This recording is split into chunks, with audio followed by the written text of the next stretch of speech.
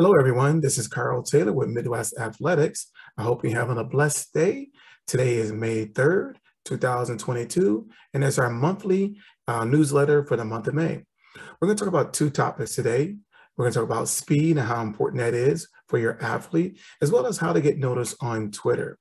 Don't forget, on Sunday, June 12th, Hillsdale will be hosting their football showcase called the Honor Roll Showcase in Hillsdale, Michigan. Uh, come prepared and ready to get evaluated by some great colleges across the nation. Uh, you can also check our website of those kids who've come before and where they've been signed or where they signed uh, uh this past class, which will be the class of 2022. When we talk about speed, we're talking about just improving your speed before you go to any college showcase. And the month of May is where you need to really work on your drills. And those drills are the combine drills that you'll be tested on at college camps. So one of the things we really reckon uh, or really see is just ensuring that your athlete is preparing, you know, training with a trainer or working out with his coach on the drills that you'll commonly see at college camps. We talk about doing drills in the month of May. We talk about three common drills that you'll get tested on at college camp. And they are the 40 yard dash, 20 yard shuttle run, and the L drill. And sometimes you'll see the long jump or broad jump, as they say. The 40 yard dash is what you see on the screen. And you'll see where it says excellent, average, and fair. These are a guide of times that you want to try to strive for based on your goals of the level that you want to be recruited by. For instance, D1 athletes are tend to reach the excellent level, and sometimes at the average level, they'll get recruited by a D1 school. And the fair typically is D2 and below. You know, also height and weight do come in play for these times, but at the end of the day, these times are significant in your recruiting process. Another gauge is the pro agility or 20 hour shuttle run. Look at these times as another guide 4.30 is excellent for receiver, DB, and a running back. I've seen multiple kids get under that in the high school level. Quarterbacks, O linemen, etc.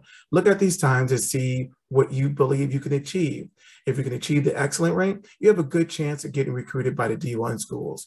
And as I say, average and fair, you're really going to be hitting the D2 schools and lower division.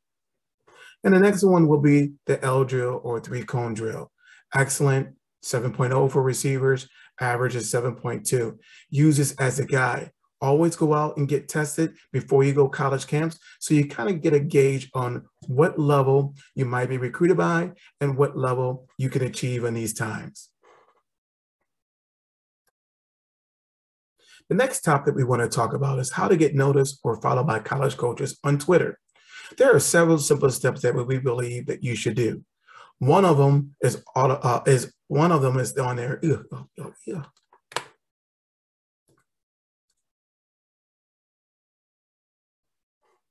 The next topic that we want to talk about is how to get noticed or followed on Twitter by college coaches. There are seven general rules that we say to use.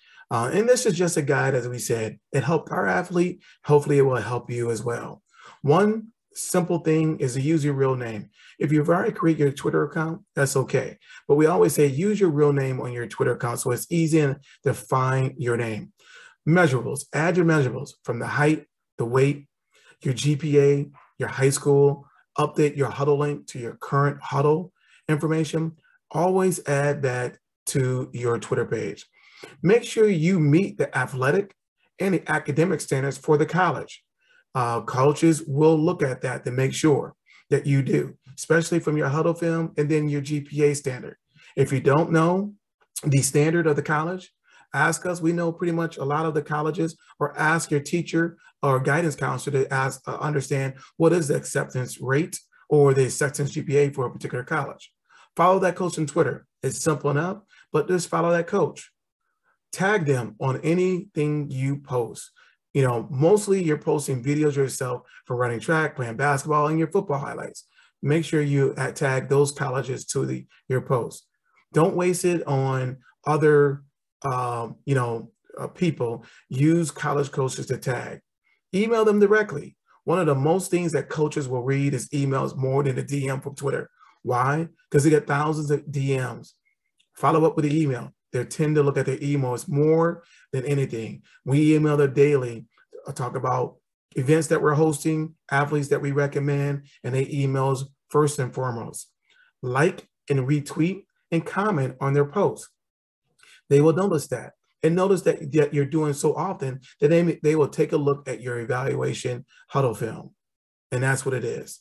You're looking at your Hudl, looking at your GPA to see if you meet the standards. And if you do, they'll follow you. And then that means they'll look at evaluating you this summer. I hope these seven tips help you get the notification and the notices from this college coaches that you're looking for. Always remember, you got to meet the requirements from athletically and academically in order for them to follow you. With that being said, thanks for joining our monthly newsletter. We hope to see you at the Hillsdale College Showcase on June 12th. If you got any questions or comments, please give us a call or e email us. We're happy to help and give you some guidance. As we uh, said before, we've gone through this before. We know how difficult it can be. And one of the words that we always use, be patient, be patient. Thank you and God bless.